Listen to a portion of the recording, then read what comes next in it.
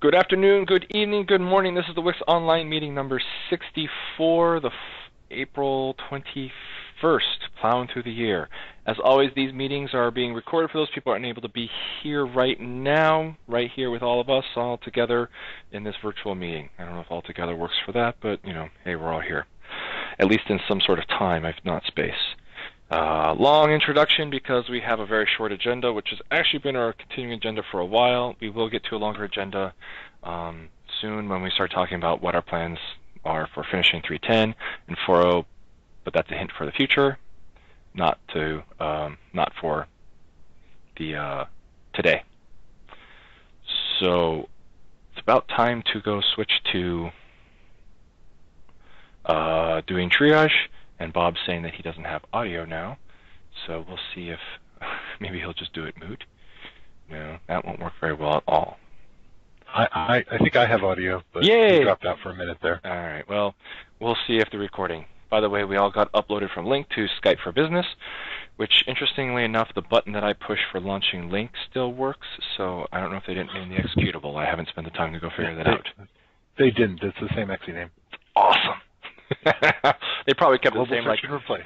we can't change the name because it will break somebody's batch file in some place. And anyway, neither here nor there. So far, it seems to be working. Of course, we won't know until I save the recording and try to post it to YouTube, which will be later. In the meantime, we're going to go do triage.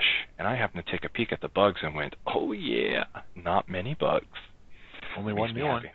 One new one, and you opened this last, or you made a comment on this last one. If I said reopened, right? This was reopened.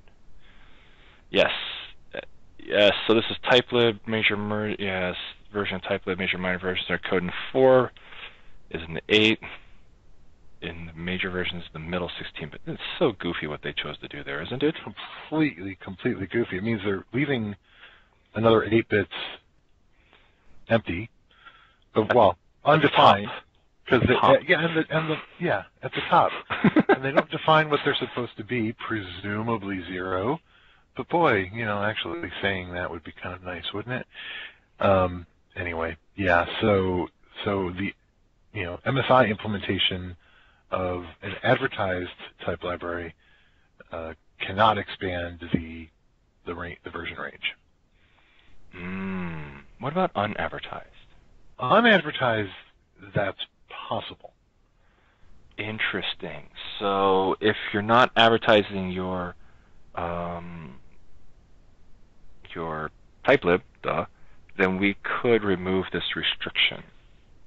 We could, um, but I have to say, given the MSI definition and the fact that it's you know been that way for about ever, if not forever, um, I have to wonder if it's actually useful to have you know different restrictions on on the data.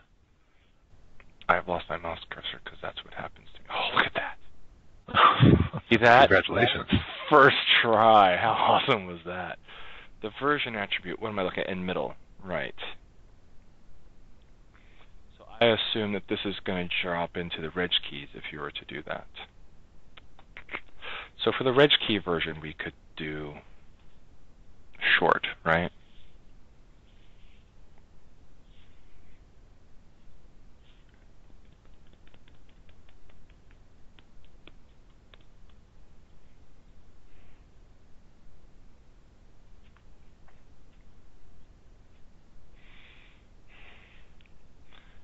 Right.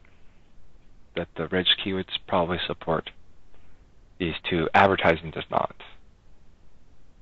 Does that make sense? Uh, or are yes, you thinking I- that the uh, the MSI documentation is more correct about type libs than the type lib middle doc? Well, I, yeah, the reason I recommended won't fix is because, well, mostly because, again, it's been this way forever. No one's complained. It's you know hard to see that that mixing and matching would be you know beneficial. Um, as to whether MSI got it right, mm, yeah, you know maybe. I mean, for a while there they were part of Windows, so you know they might have had some slightly deeper insight, although this was, you know, an MSI 1.0 feature, so Yeah, I doubt it. um, Uh,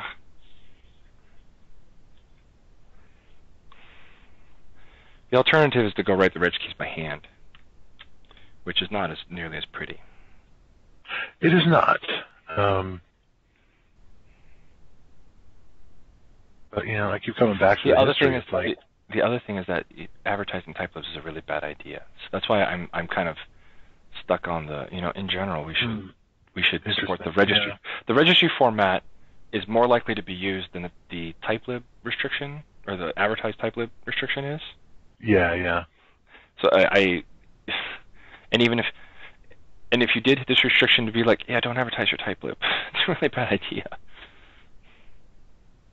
Don't use a typelib table. Use a typelib element. Don't use a typelib table. Right, right. Well, I mean, that's pretty much um, true for all com stuff. Yes.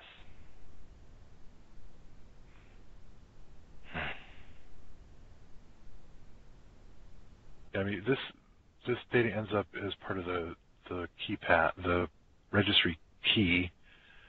Um, so it's you know it's safe. Mm-hmm. Not even a D word limitation there. Uh-uh.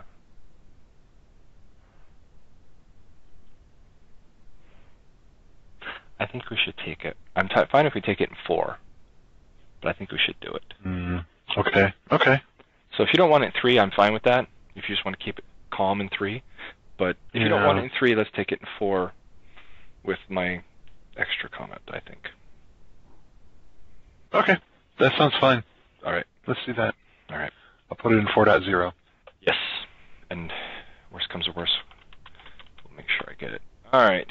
Crash during log ID. I really wish I knew what this was. Yeah. Format messages crashing. More data beyond the. No, okay. Error reading page. Blah.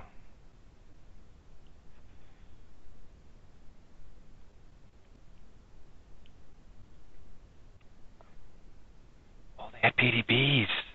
Oh, they did the work to get PDBs. There's line numbers on the end. Fantastic.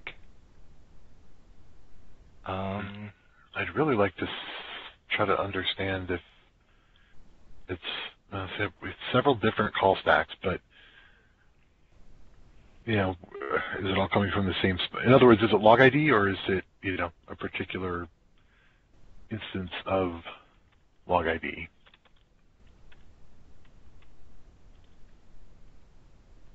I'm just going to kind of look at line 825. It is the format message call, which I guess you would expect. Yeah. And it crashed here.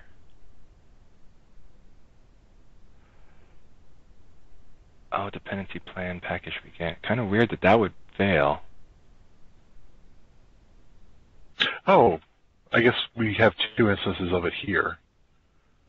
Dependency plan package and execute package complete. So that kind of answers that. Which also makes the most sense. All the log ID calls are going to be basically the same. Except with different arguments, which, you know, okay.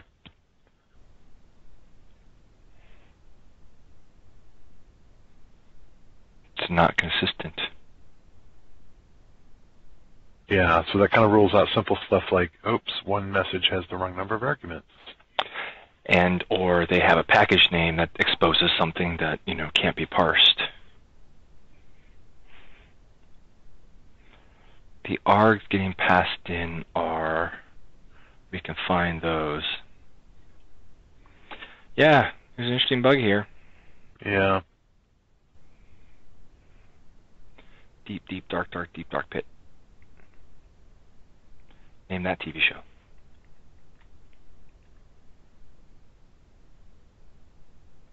No takers? Right. No, now I've stopped thinking about the bug. What? What? I'll leave it for next week. All right. Maybe somebody will come back with Deep Deep Dark Dark Deep Dark Pit. It's a fantastic show. I was younger, I'll give you that. So it might not be any good anymore, but when I was a kid, it was fantastic. Um, um, yeah, we're not going to pull this out here because it doesn't. It's not obvious. The args is passed in as a list. The caller is plan package begin. Try to open that real quick, see if there's anything obvious in plan package begin. And these are all wide strings, right? There's no mixing and matching here. I hope so. Actually, this isn't burn. Burn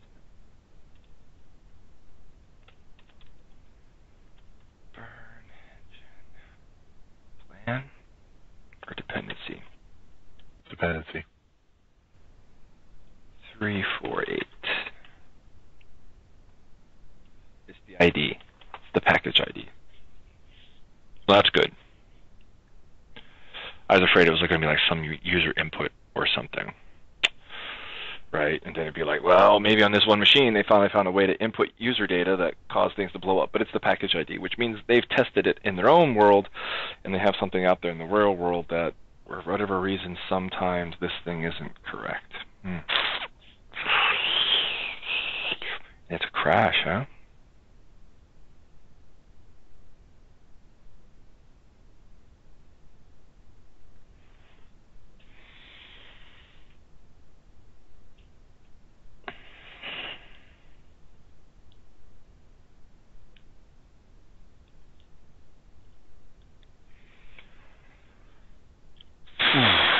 I got nothing. Yes. Thus the deep, deep, dark, dark, deep, dark pit reference. Very, very scary place that nothing comes out of. Yeah, uh, I, I think we should leave it open. I don't know what to do with it right now. Um, I don't. I don't know what to do with it. Bob? Got me. I, I don't. I mean, I took a quick look. I don't see anything that we're doing wrong with format message. Yeah. Um, I don't know if it matters that Wix Standard BA matters or not. Because it's just a package ID being passed in. Unless, actually, you know, unless they've corrupted memory somewhere else and they've hit this. So, so because it's moving around, let's tell them to turn on app verifier, um, particularly PageHeap, and see if they can see if they're actually, by turning on PageHeap, maybe they'll get a crash to move, and maybe it won't be in our code anymore. Maybe they're screwing up memory somewhere, or maybe we're screwing up memory somewhere else, and it just happens to be manifesting a format message. Yeah, Jacob, Hmm. even if they were messing with the packages, you can't change the ID of the package, and this thing's crashing on the package ID. So, so I think that's the answer thus far. Uh, we'll we can kick it out for more info, put it in 310 for more info, and see if they can run PageHeap. Because my, I'm with you, Bob. I don't see anything that would be like, all right, well, clearly we would crash inconsistently if we did that, but there's nothing obvious that would do that. So my hope is that they've corrupted memory somewhere else and they're just happening to crash in this space. That they're rather consistently corrupting memory somewhere that is inconsistently crashing here. So it's the same sort of memory corruption which ends up getting the same sort of crash in the times that the system decides that that's the way it's going to be. And hopefully PageHeap will trap the thing going, hey, you can't write there, and then suddenly it'll be like, oh, look, log ID doesn't crash, something else crashed way earlier. That's my hope. Does that make sense? Um, it's Um, rather, it's the first, shot. it's the first thing I do when you have something that looks like a memory crash that doesn't reproduce consistently. Doesn't right, always work. Right. But if it works, it's the fastest way because turning on G flags or App Verifier and turning on PageHeap is the easiest. It's like you know, a few minutes unless you don't have the tools, then it's you know, 30 minutes to go get the tools. You know, Right. whatever. Get them, put them on, turn on, run it a bunch of times, and then hopefully it crashes. Actually, hopefully it crashes the first time. You're like, oh, we're always messing up the memory here. Right. Well then, you fix that, and then suddenly this problem goes away, and you're like, oh, messing up the memory here was messing up stuff later that would sometimes be screwed. So I think that's the answer for now. And hopefully the right. bug will move consistently. Um, yeah, yeah, no, it's worth a shot. It's worth a shot. The best thing I got right now. Yeah, and if they're capturing call stacks, they're, you know, they're most of the way there. Yeah, like they, the fact that they got this far is, you know, Yeah. either they know how to get mini dumps from their crashes, or I don't, I don't know what they've done, but that's good. So, yep, I don't like crashes. I don't like crashes. So, we'll have to go. Be good to hunt that one down if possible. Alrighty then. I think that's four seven three eight. I have no mouse. It's hard. Okay, got it. Four seven three eight. What? How is this not? This is open. All right, we have to triage this bug, but it's already open. Oh, it was open directly. All right, thanks. Don't do that, people. He assigned it to himself. Well, then we're done, right? He's gonna go fix it. He put in three nine. Well, we're not gonna fix it there. Probably not. In I have an issue when try to run installers created 3.9 on 8 errors writes this. Tried Google, but I have a hard time fixing this. What is this? Failed to get handlers for section dir properties. Not enough information to diagnose this. We would know what their properties they're looking for. Because that's not found, right? Yes. Uninstalling and installing IIS fixed the issue. Helpful link this. Wow. Look at that.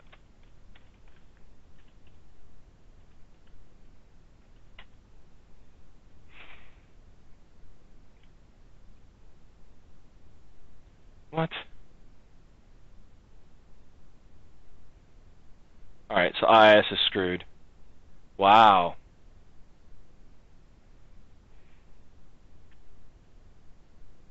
Okay. So that to me would suggest that something's happened to the IIS configuration. These people have corrupted their IIS configuration somehow, and the world's a bad place. That the IIS7 config changes, that's using, that's doing XML stuff, right? It, Or is that no, it, it's using the IIS API that in the end uses XML stuff. But not the Metabase stuff. It's, yeah, this is definitely not Metabase. That's only IIS6, i5. Oh man, I don't remember now. Um.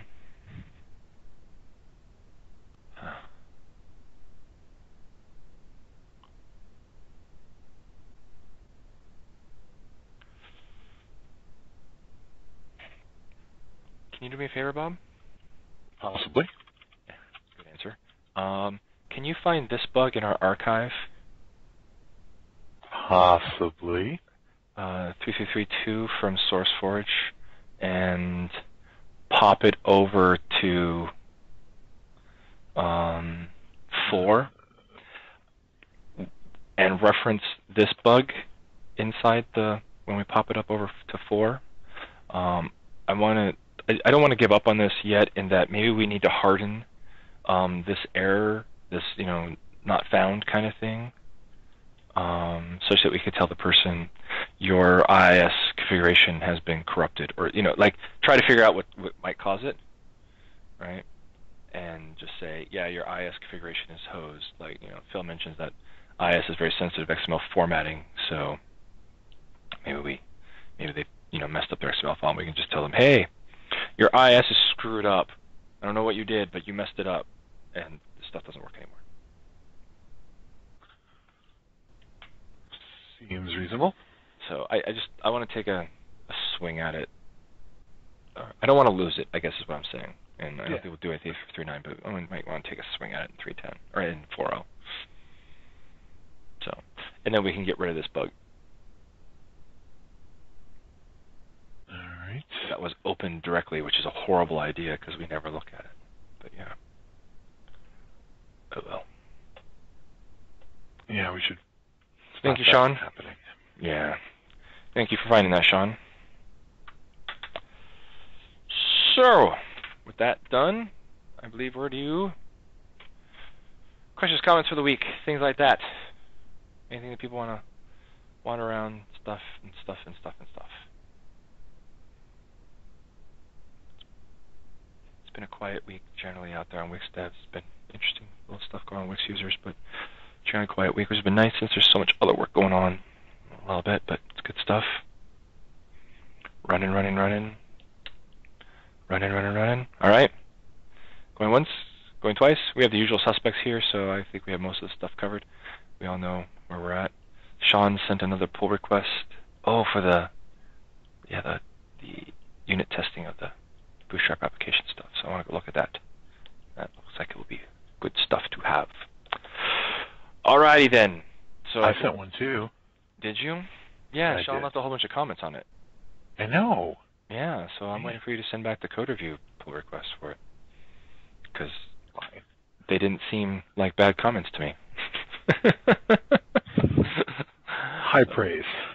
Uh, yeah, that is, isn't it? Does it get well, better than okay. that? No, you're right. It gets better than that. It, it gets better than that when I offer to to give you a raise on your Wix salary. That's usually pretty good. There you go.